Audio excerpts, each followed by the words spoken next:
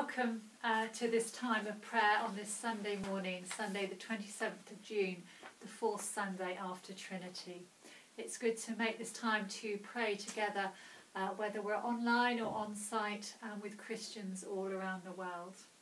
I'm using today this uh, form of shorter morning prayer um, that Jane Sutton's recently put together. We've been using a similar form for several months now when we've prayed online together on Fridays and copies of this have gone out to people are in our churches. Jane has recently uh, refreshed it with some different readings and psalms, so if you'd like an updated copy for yourself, please let me know and I'll make sure you get one. So that's what we're using today, uh, and as always, there are subtitles if you want to click on CC if that helps you follow. I will use the Gospel reading for this Sunday and then offer a brief reflection on it as well too. So we begin. O Lord, open our lips, and our mouth shall proclaim your praise. Blessed are you, Creator of all, to you be praise and glory forever. As your dawn renews the face of the earth, bringing light and life to all creation, may we rejoice in this day you have made. As we wake refreshed from the depths of sleep, Open our eyes to behold your presence and strengthen our hands to do your will, that the world may rejoice and give you praise. Blessed be God, Father, Son, and Holy Spirit. Blessed be God forever. The night has passed and the day lies open before us. Let us pray with one heart and mind.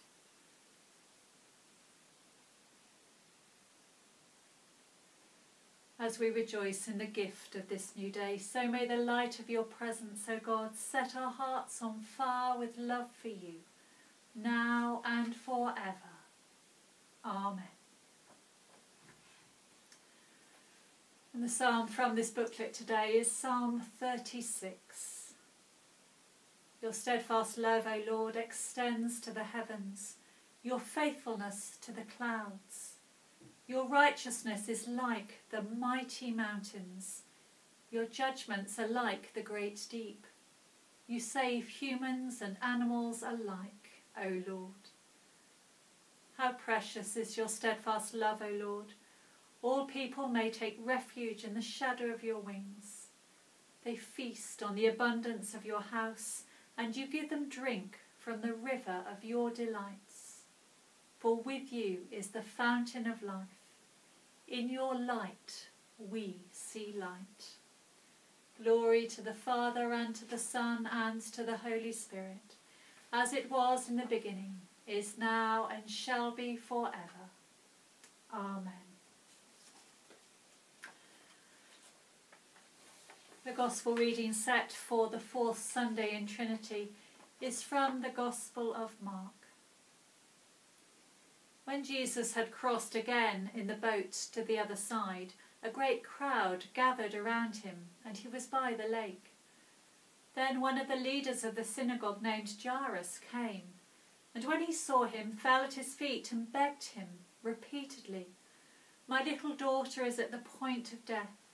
Come and lay your hands on her so that she may be made well and live.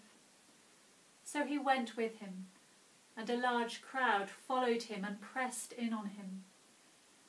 Now there was a woman who had been suffering from hemorrhages for twelve years. She had endured much under many physicians and had spent all that she had, and she was no better, but rather grew worse. She had heard about Jesus and came up behind him in the crowd and touched his cloak, for she said, If I but touch his clothes, I will be made well. Immediately her hemorrhage stopped, and she felt in her body that she was healed of her disease.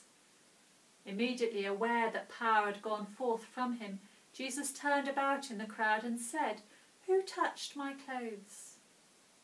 And his disciples said to him, You see the crowd pressing in on you. How can you say, Who touched me? He looked all around to see who had done it.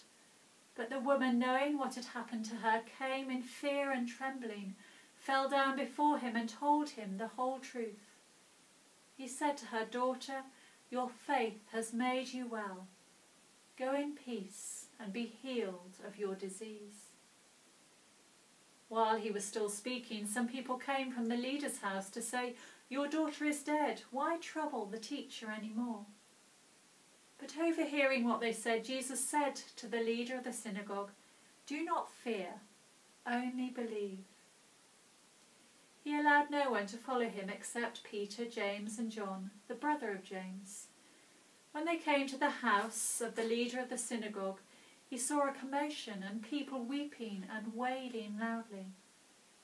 When he had entered, he said to them, Why do you make a commotion and weep? The child is not dead, but sleeping. And they laughed at him. Then he put them all outside and took the child's father and mother and those who were with them and went in where the child was. He took her by the hand and said to her, Talitha cum, which means, Little girl, get up. And immediately the girl got up and began to walk about. She was about twelve years of age. At this they were overcome with amazement. He strictly ordered them that no one should know this and told them to give her something to eat.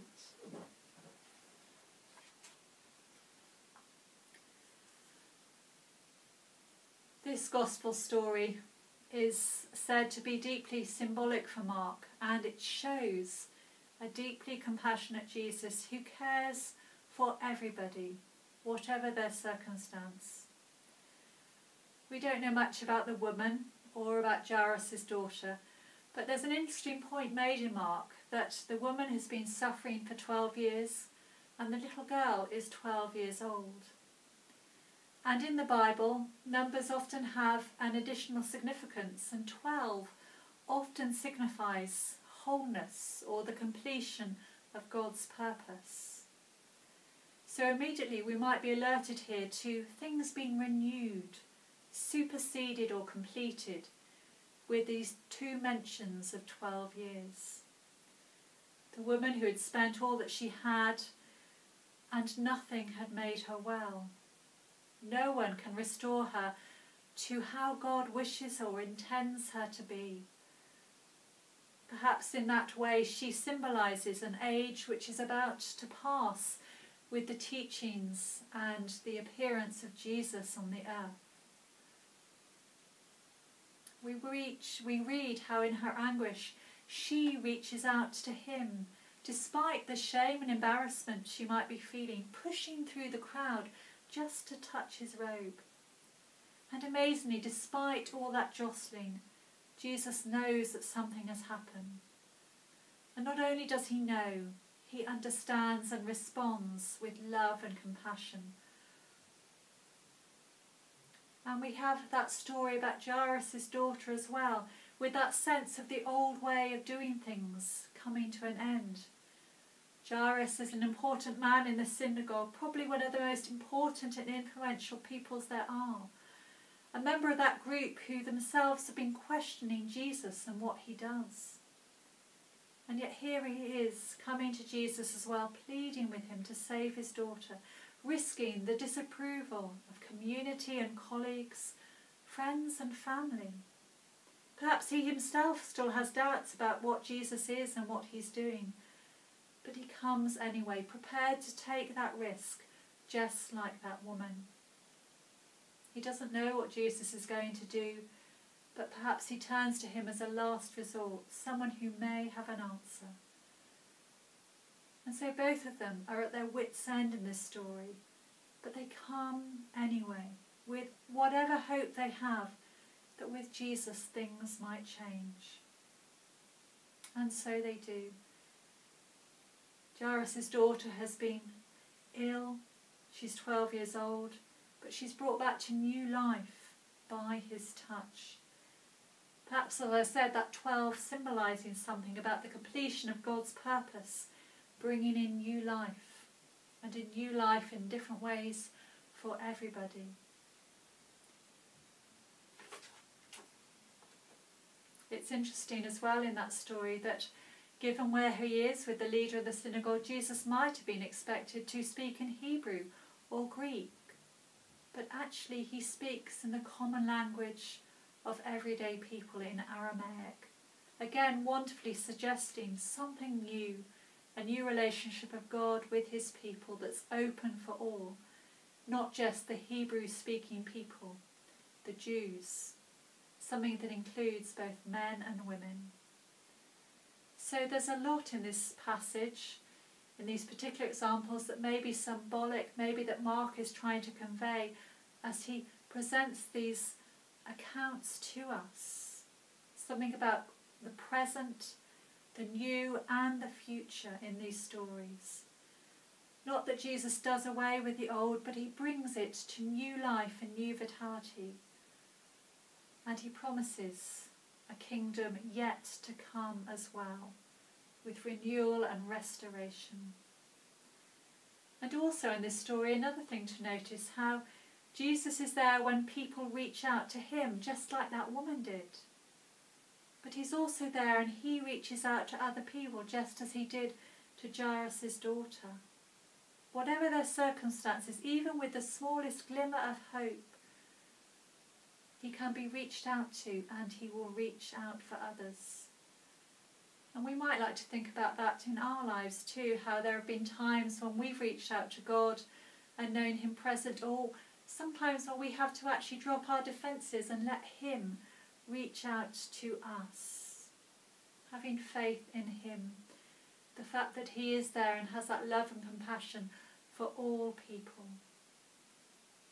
in these stories is such a profound hope that Jesus could and can change things for people in desperate situations. And lives are transformed as a result with that contact with Jesus, with Christ. And it's something that's not exclusive, that we can rejoice in today. It's for each and everyone, for absolutely everybody, whatever their situation or background an offer to touch and transform lives that are not as God intended, but to help people experience that life that He longs for them here on earth and as we make this journey through life. So let that be our rejoicing today and our prayer as well. An encouragement to reach out to Jesus and to allow Him to reach out to us as well. Amen.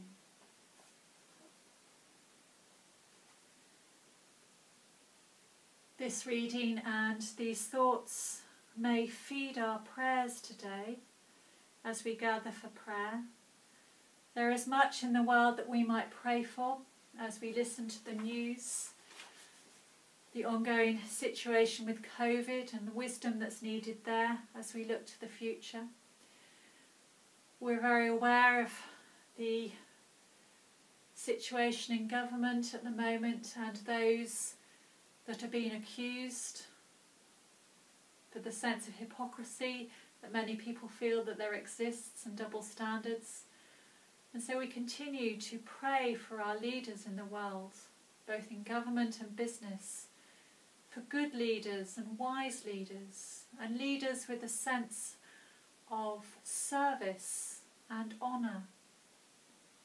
We pray for ourselves and those we love and care for in our benefice, we're giving thanks for those recently married and those preparing for their weddings in the weeks to come.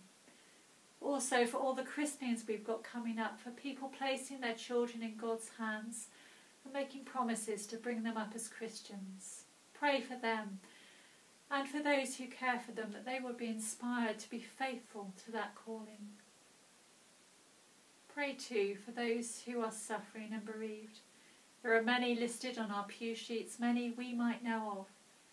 And we can bring them to God. It may be that, unlike the people in our story, they can't come themselves, but we can bring them to God and pray that He touches them and they would know His consolation and His comfort.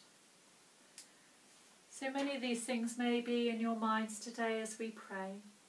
And I invite you just to hold in your minds those things that are significant to you. And I will lead us in some very simple prayers leaving some space for our own thoughts. And the response to these is simply, We pray to you, O Lord. So the response once more, We pray to you, O Lord.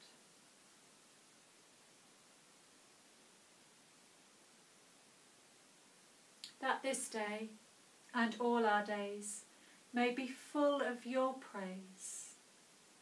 We pray to you, O Lord. That you will keep us this day without sin. We pray to you, O Lord.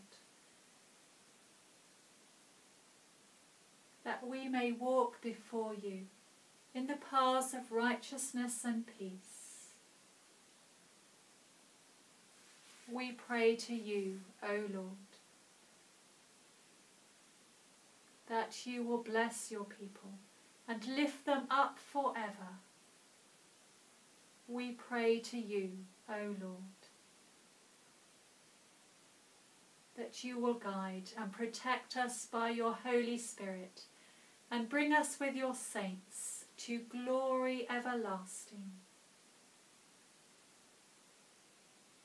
We pray to you, O Lord. So let us commend ourselves and all for whom we pray to the mercy and protection of God. Amen.